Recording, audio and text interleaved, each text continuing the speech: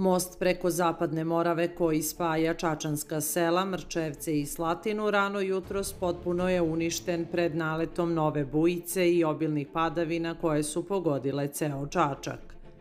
Taj most nam je bio najbliža veza ne samo sa gradom, već smo preko njega prelazili i do svojih parcela, sada ne znam ni kako ćemo ni šta ćemo – Do skoro je bio zatvoren za saobraćaj jer je bio nebezbedan za prelazak zbog dotrajalosti nosećih stubova, a sada je potpuno uništen, kazo je za agenciju Rina Marko iz Mrčevaca.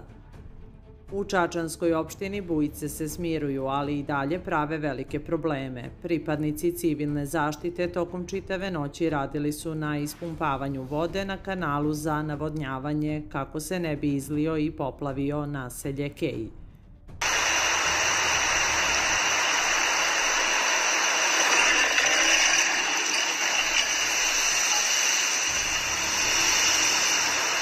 Zapratite naš kanal i playlistu Balkanska hronika.